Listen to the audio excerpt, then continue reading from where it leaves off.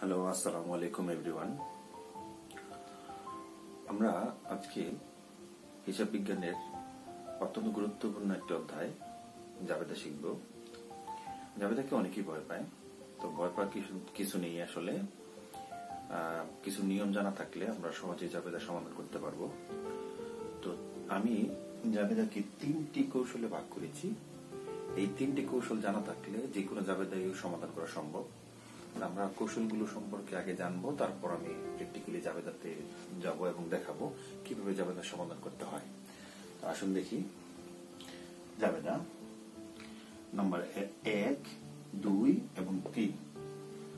তো কৌশল এক, খরচ, ক্ষতি, ব্যয়, এটা হবে ডেবিট অর্থাৎ কোনো কারণে যদি ব্যবসা প্রতিষ্ঠানের কোনো টাকা খরচ হয় অথবা ক্ষতি হয় অথবা ব্যয় হয় যদিও কথাগুলো আসলে একই অর্থ প্রকাশ করে, তো এটা হচ্ছে ডেবিট আর কোনো কারণে যদি ব্যবসা প্রতিষ্ঠানের টাকা আসে, অর্থাৎ আয় হয়, লাভ হয়, মুনাফা হয়, অর্থাৎ ব্যবসা প্রতিষ্ঠানে যদি কোনো কারণে লাভ হয়, আমাদের আয় হয়, তবে ক্রেডিট নাম্বার দুই, যদি ব্যবসা প্রতিষ্ঠানের সম্পদ বেড়ে যায়, তবে ডেবিট আর যদি কোনো কারণে ব্যবসা প্রতিষ্ঠানের সম্পদ কমে যায়, তবে ক্রেডিট নাম্বার তিন। যদি ব্যবসা প্রতিষ্ঠানে নগদ টাকা আসে, তবে আমরা ডেবিট করব। আর যদি আমাদের ব্যবসা প্রতিষ্ঠান থেকে নগদ টাকা চলে যায়, তবে ক্রেডিট করব। তো আমরা আসলে দেখলাম এই তিনটা নিয়ম কৌশল। তো অত্যন্ত মনে রাখার বিষয় যে এই তিনটা নিয়ম জানলেই কিন্তু আমরা যে কোনো জাবেদাকে সমাধান করতে পারব ইনশাল্লাহ তো এই তিনটা নিয়মকে প্রথমত তোমরা মুখস্থ করে নিবা। আসলে সহজই নিয়মগুলা তারপর মুখস্থ করে নিবা। এবার চলো আমরা প্র্যাকটিক্যালি জাবেদায় যাই। এগুলো এক একটি হচ্ছে এক একটি এন্ট্রি বা জাবেদা দেখিলা। আমরা এক নাম্বার জাবেদা দেখিলে একটু দেখি। নগদে পাঁচ হাজার টাকার পণ্য ক্রয়। আবার পড়ছি, নগদে পাঁচ হাজার টাকার পণ্য ক্রয়। এখানে লক্ষণীয় বিষয় হচ্ছে যে আমাদের প্রতিটা এন্ট্রিতে মানে প্রতিটা জাবেদা দেখিলাতে দেখতে হবে যে এই জাবেদার মূল কথা কোনটা? যেমন এটার মধ্যে ক্রয় এবং দ্বিতীয় জাবেদা দাখিলাটার মধ্যে কর্মচারীদের বেতন প্রদান। এখানে মূল কথা হচ্ছে বেতন। তিন নম্বর, ক্যাশ বাক্স হতে নগদ তিরিশ হাজার টাকা চুরি হয়ে গেল। এখানে মূল কথা হচ্ছে চুরি হওয়া। এখন আমার কথা হচ্ছে যে এই মূল কথাগুলো আমাদের একটু ইন্ডিকেট করে রাখতে হবে বা প্রথমে বের করতে হবে। তারপর সব থেকে গুরুত্বপূর্ণ বিষয় হচ্ছে যে এই লেনদেনটা নগদে হলো?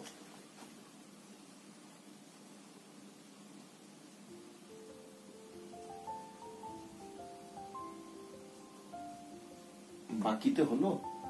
নাকি চেকের মাধ্যমে হলো? কারণ এই তিন তিন ভাবেই একটা লেনদেন হতে পারে। আমাদের দেখতে হবে যে আসলে নগদে হলো বাকিতে নাকি চেকে। তিন ভাবে যে কোনো একভাবে হতে পারে। তো এটা একটু মনোযোগ দিয়ে দেখবা তোমরা। তো প্রথম এন্ট্রিটাতে নগদে পাঁচ হাজার টাকার পণ্য ক্রয়। এখানে আমরা সহজে দেখতে পাচ্ছি যে নগদ। এখন একটা জিনিস লক্ষ্য করো। জাবেদা করতে হলে প্রথমত ডেবিট হয় একটা, তারপর সমপরিমাণ টাকা আবার ক্রেডিট হয়। তো আমরা পেয়ে গেলাম দুইটা অপশন এক ক্রয়, দুই নগদ। এখন চলো আমরা এই নিয়মগুলোর সাথে মিলাই। যেমন, নগদে পাঁচ হাজার টাকার পণ্য ক্রয়। নগদে পাঁচ হাজার টাকার পণ্য ক্রয় করার কারণে কি হলো? এই নিয়মগুলোর সাথে যদি আমি মিলাতে যাই, যেমন আমি আমার প্রতিষ্ঠানে, আমার ব্যবসা প্রতিষ্ঠানে আমি পাঁচ হাজার টাকার পণ্য কিনলাম। এখন কথা হচ্ছে যে ক্রয় কি? ক্রয় হলো মানে কোনো কিছু কিনে নিয়ে আসা, আমার ব্যবসা প্রতিষ্ঠানে কোনো কিছু কিনে আনলাম। তো এখন এই পাঁচ হাজার টাকার আমি পণ্য কিনে নিয়ে আসলাম। এখানে পণ্য কিনলে কি হয়? একটা ব্যবসা প্রতিষ্ঠানে কি হয়? ব্যবসা প্রতিষ্ঠানের দেখবা যে তোমরা একটা আমি পাঁচ হাজার টাকার পণ্য কিনে নিয়ে আসলাম। আমার কি হবে? সহজ করে যদি বলি মানে খুব সহজ বিষয়টা খরচ হবে। কি হবে? তবে খরচ ক্ষতি কিন্তু এক বিষয় না ব্যয় কিন্তু এক বিষয় না। একই অর্থ কিন্তু একটু ডিফারেন্ট যেমন কি খরচ, আমি কোনো কিছু খরচ হলো, এটা খরচ, কোনো কিছু কিনলাম বা কোনো কিছু নিয়ে আসলাম, আমার টাকা খরচ হলো, এটা হলো খরচ। আর ক্ষতি বা ব্যয়, যেমন আমি এই ঘড়িটা কিনলাম পাঁচশো টাকায় ঘড়িটা কিনলাম, এখন আমার এই ঘড়িটা হারিয়ে গেল, অথবা চুরি হয়ে গেল, অথবা নষ্ট হয়ে গেল। এটা আমি ক্ষতি ধরতে পারি।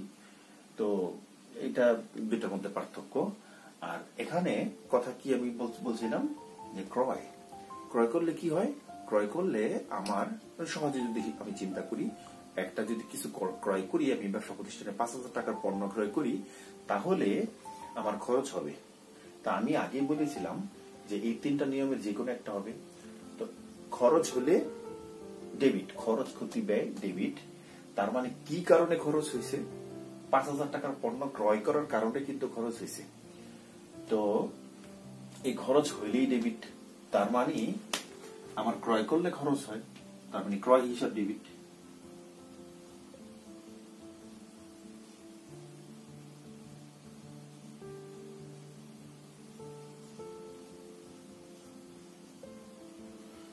তারপর, এখন আছে নগদ টাকা। আমি দুইটা কিন্তু আগেই বের করে নিছি। নগদ টাকা। নগদে পাঁচ হাজার টাকার পণ্য কিনেছিলাম আমরা। তো এখন নগদ টাকা সম্পর্কে ওখানে বলা আছে। নগদ টাকা আসলে ডেবিট হয় আর নগদ টাকা চলে গেলে ক্রেডিট। তো এখানে আমি পাঁচ হাজার টাকার পণ্য ক্রয় করতে গিয়ে আমার নগদ টাকা কি আসলো না চলে গেল? অবশ্যই চলে গেল। তো চলে গেলে ক্রেডিট হবে। তার মানে নগদ টাকা চলে গেলে যে নগদ টাকা চলে গেলে নগদান হিসাব ক্রেডিট। আমি লিখি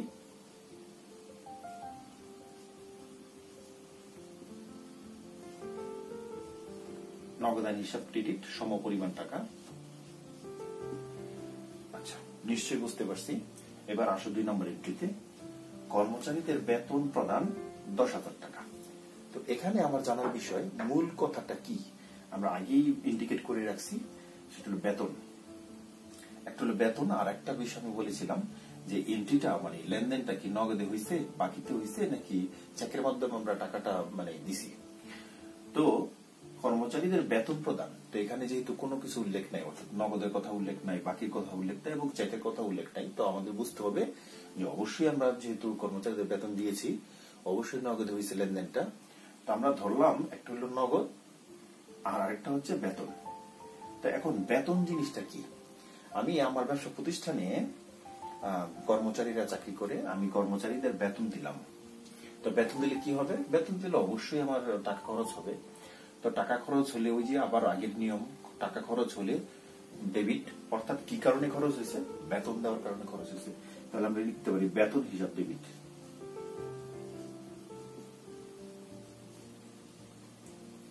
দশ হাজার।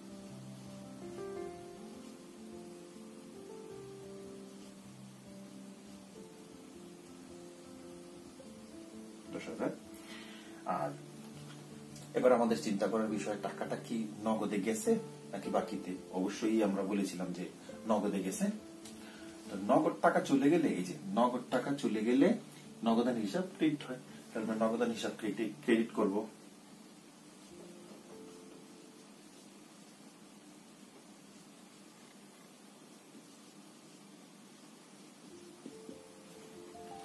তিন নম্বর ক্যাশ বাক্স হতে নগদ তিরিশ হাজার টাকা চুরি হয়ে গেল।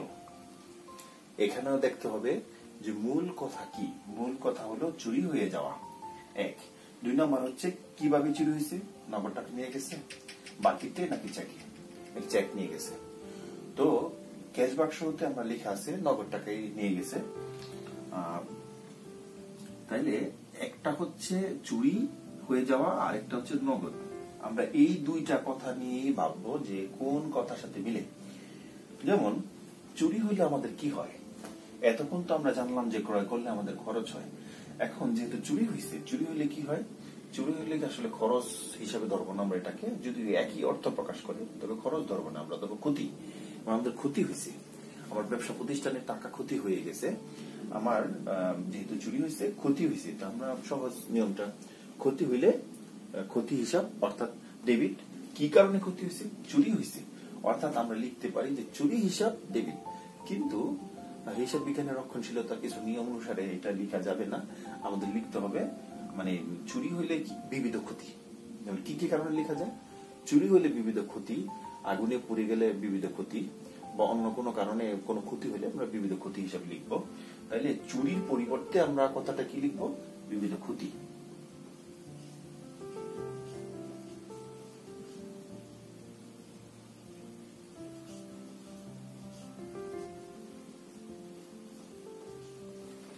ক্ষতি হিসাব ডেবিট তিরিশ হাজার টাকা।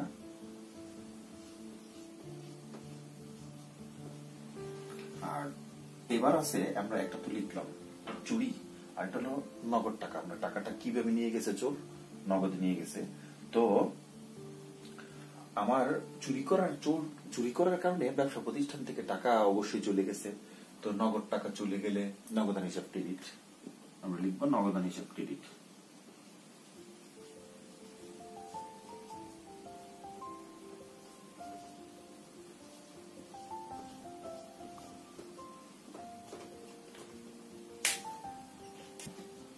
বাড়ি ভাড়া প্রদান সাত হাজার টাকা।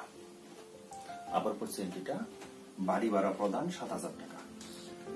এখানে মূল বিষয় কি? মূল বিষয় হচ্ছে বাড়ি ভাড়া। আরেকটা বিষয় কি? আমি কি নগদে দিচ্ছি, বাকিতে নাকি চেকের মাধ্যমে? তো এখানে কিন্তু উল্লেখ নেই আসলে, নগদ, বাকি অথবা চেক। যদি উল্লেখ উল্লেখ না থাকে, তাহলে বুঝতে হবে অবশ্যই মানে লেনদেনটা নগদে হয়েছে। তো বাড়ি ভাড়া প্রদান। আচ্ছা আমি বাড়ি ভাড়া প্রদানটা কি? আমি এই বাড়িতে থাকি, এই বাড়ির মালিককে আমি বাড়ি ভাড়া দিলাম। তো বাড়ি ভাড়া দিলে কি হয়? আমার টাকা খরচ হবে। তো আমরা শিখেছি কি, টাকা খরচ হলে খরচ হিসাবটা ডেবিট হয়। অর্থাৎ কি কারণে খরচ হয়েছে? বাড়ি ভাড়া প্রদান করার কারণে খরচ হয়েছে। তো বাড়ি ভাড়া হিসাব ডেবিট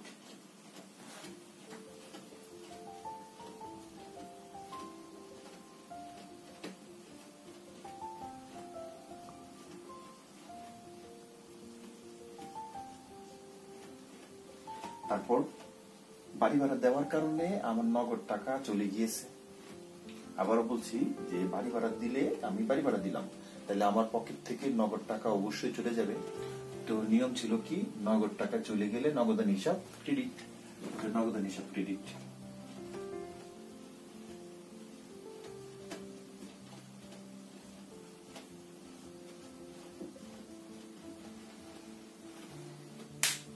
পাঁচ নম্বর এন্ট্রি ব্যবসায়ের প্রচারণা বাবদ ব্যয় দশ হাজার টাকা। প্রতিটা ব্যবসা প্রতিষ্ঠান তার পণ্যকে রানিং করার জন্য প্রচারণা করে, অর্থাৎ প্রচারণা মানে কি? বাংলাতে আমরা বিজ্ঞাপন বলি, আর ইংরেজিতে অ্যাডভার্টাইজমেন্ট বলি, আবার সংক্ষেপে অ্যাডও বলি। তো, ব্যবসার প্রচারণা বাবদ আমি ব্যয় হলো দশ হাজার টাকা। অর্থাৎ আমার ব্যবসা প্রতিষ্ঠানের পণ্যকে রানিং করার জন্য আমি প্রচার করলাম আমার ব্যবসা প্রতিষ্ঠান? আহ, পণ্যে পণ্য প্রচার করলাম। তো প্রচার করলে আমার কি হয়? আমি আমি ব্যবসা প্রতিষ্ঠানের পণ্য প্রচার করলাম মানে অর্থাৎ প্রচারণা করলাম বা অ্যাডভার্টাইজমেন্ট করলাম। তো করার কারণে আমার কি হবে? অবশ্যই টাকা খরচ হবে। আমার টাকা খরচ হবে। তো একটা কি? ব্যবসায়ের প্রচারণা একটা মূল কথা। আরেকটা কি? যে আমি টাকাটা কীভাবে দিয়েছিলাম? নগদে, বাকিতে নাকি চেকে আবারও বলছি, এখানে কিন্তু উল্লেখ নেই, আসলে নগদ, বাকি বা চেক যদি কোনো কিছু উল্লেখ না থাকে, তবে ধরতে হবে অবশ্যই নগদ। তো, ব্যবসায় প্রচারণা মানে অর্থাৎ কি করলাম? বিজ্ঞাপন দিলাম। বিজ্ঞাপন দেওয়ার কারণে আমার খরচ হয়েছে। তো আমি প্রচারণার পরিবর্তে কথাটা লিখব কি? বিজ্ঞাপন। অর্থাৎ বিজ্ঞাপন হিসাব ডেবিট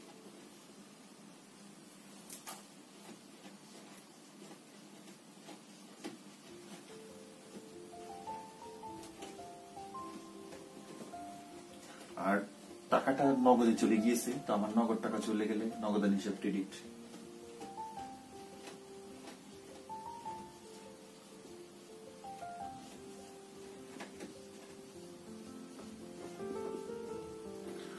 আচ্ছা তারপর ছয় নম্বর এন্ট্রি নগদে বিশ হাজার টাকার পণ্য বিক্রয়। মনোযোগ দিতে হবে একটু, নগদে বিশ হাজার টাকার পণ্য বিক্রয়। এখানে মূল কথা কি? মূল কথা হচ্ছে বিক্রয়, আরেকটা হচ্ছে নগদ। অর্থাৎ আমি পণ্য বিক্রি করেছি আর ওই আমাকে নগদ টাকা তারা দিয়েছে। তো এখন বিক্রি করলে মানে পণ্য বিক্রয় করলে কি হয়? পণ্য বিক্রয় করলে কি হয়? দেখি। আমরা জানি, আমরা ব্যবসা প্রতিষ্ঠানে লাভ করার উদ্দেশ্যেই পণ্য বেচা কিনি করি। তো আমি নিশ্চয়ই লাভ করেছি। এটা ধরতে হবে, ধরে নিতে হবে যে আমাদের লাভ হয়েছে। তো লাভ হইলে কি হয়? এই যে নিয়মে আছে, লাভ হইলে ক্রেডিট হয়। যে কোনো কারণে আমার ব্যবসা প্রতিষ্ঠানে যদি লাভ হয়, লাভ হলে ক্রেডিট তাহলে কি কারণে লাভ হয়েছে কি কারণে লাভ হয়েছে লাভ হয়েছে বিক্রয় করার কারণে। তারপর লিখব বিক্রয় হিসাব।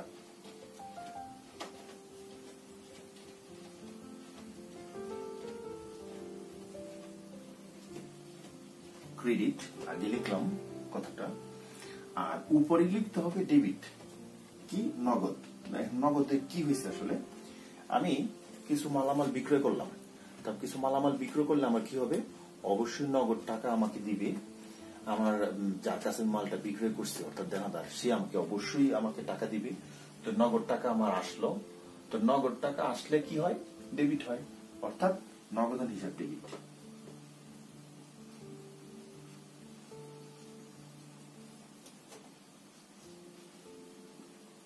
টাকা সরি বিশ হাজার।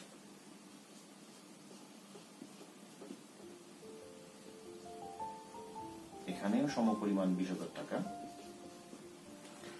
সাত নম্বর এন্ট্রি ব্যাংকে হিসাব খোলা হলো পনেরো হাজার টাকা। আমি আমার লেনদেনের সুবিধার্থে আমি আমার ব্যবসা প্রতিষ্ঠানের নামে একটা ব্যাংকে হিসাব খুললাম। তো হিসাব খুললে কি হয়? মূল কথাটা কি এখানে? আমরা এটা একটু দেখার চেষ্টা করব। অর্থাৎ আমি একটা ব্যবসা আমি একটা ব্যাংকে আমার ব্যবসা প্রতিষ্ঠানের একটা হিসাব খুললাম। তো হিসাব খুললে কি হয়? কার টাকা বাড়ে আর কার টাকা কমে বা কার খরচ হয় বা কার লাভ হয় আমরা এটি দেখব। অর্থাৎ আমি ব্যাংকে হিসাব খুললাম, তার মানে ব্যাংকে আমি টাকা জমা রাখতে হবে হিসাব খুলতে হলে। অর্থাৎ কত টাকা? পনেরো হাজার টাকা আমি ব্যাংকে জমা রাখলাম। তার মানে ব্যবসার অবশ্যই সম্পদ বেড়ে যাবে। সরি এই ব্যাংকে অবশ্যই সম্পদ বেড়ে যাবে। ব্যাংকে যদি সম্পদ বেড়ে যায়, ব্যাংকের সম্পদ বাড়লে ব্যাংক হিসাব ডেবিট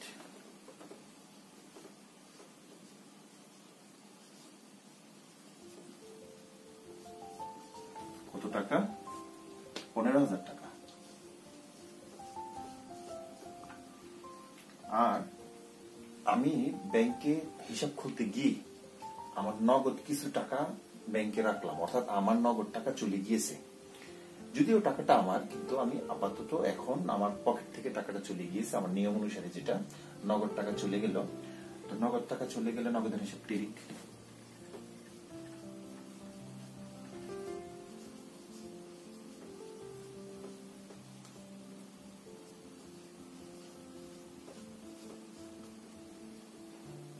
নাম্বার, পাওনাদারকে পরিশোধ দশ হাজার টাকা।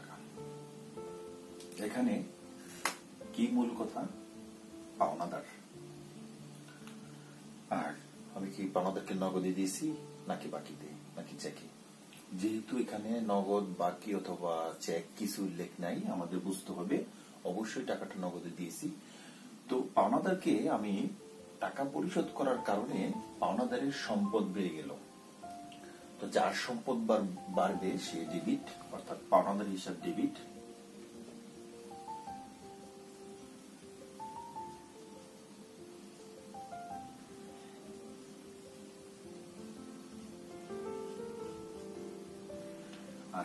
যেহেতু আমাদের নগদে চলে গিয়েছে, অর্থাৎ নগদ টাকা চলে গেলে নগদান হিসাব ক্রেডিট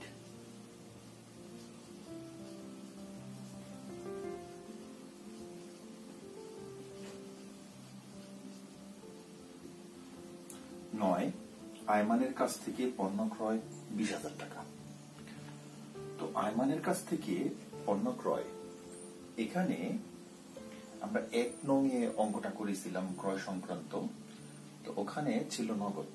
আর এখানে নগদ, বাকি অথবা চেক কিছুই বলা নাই, না থাকার কারণে বুঝতে হবে যেহেতু নগদ, বাকি অথবা চেক কিছু উল্লেখ নেই, কিন্তু একজন ব্যক্তির নাম দেওয়া আছে।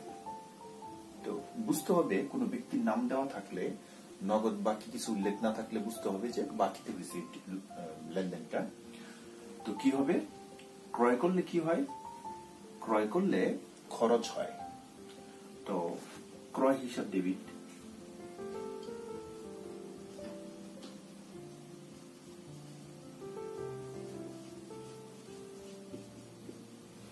আর যেহেতু বাকি, অর্থাৎ আয়মান আমার কাছে টাকা পায়, আয়মান আমার কাছে বাকিতে কিনেছি আয়মান আমার কাছে টাকা পায়, টাকা পাওয়ার কারণে আমার একটা পাওনাদার তৈরি হলো, তো পাওনাদার ক্রেডিট হবে।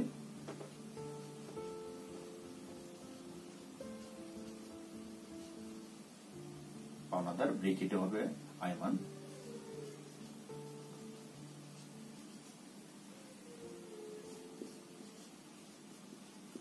হিসাব ক্রেডিট।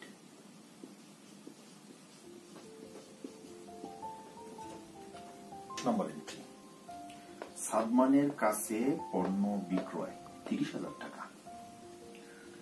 আমি সাদমানের কাছে পণ্য বিক্রয় করেছি এই এন্ট্রিটার মধ্যে নগদ অথবা বাকি কিছু উল্লেখ নেই, তবে একজন ব্যক্তির নাম উল্লেখ আছে।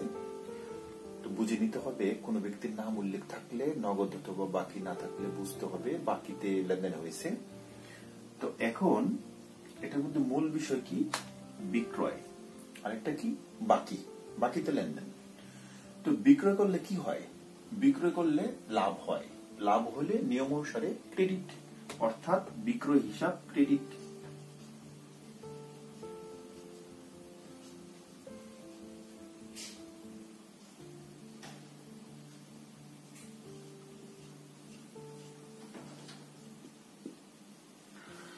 আর কি?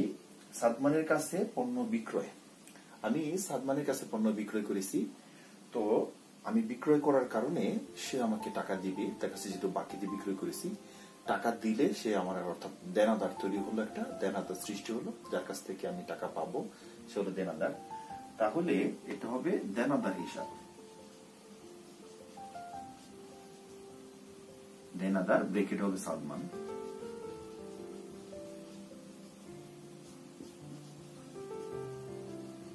হিসাব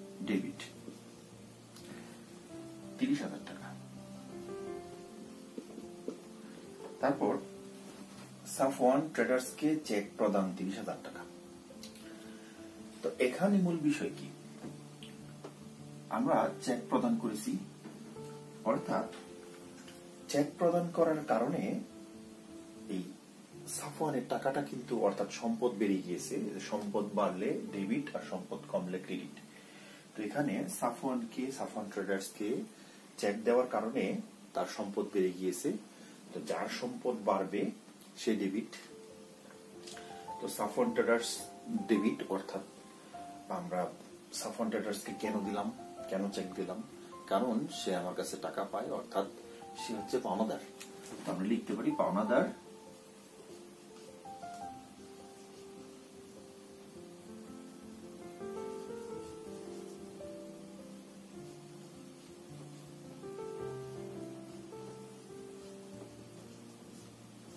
সাফওয়ান হিসাব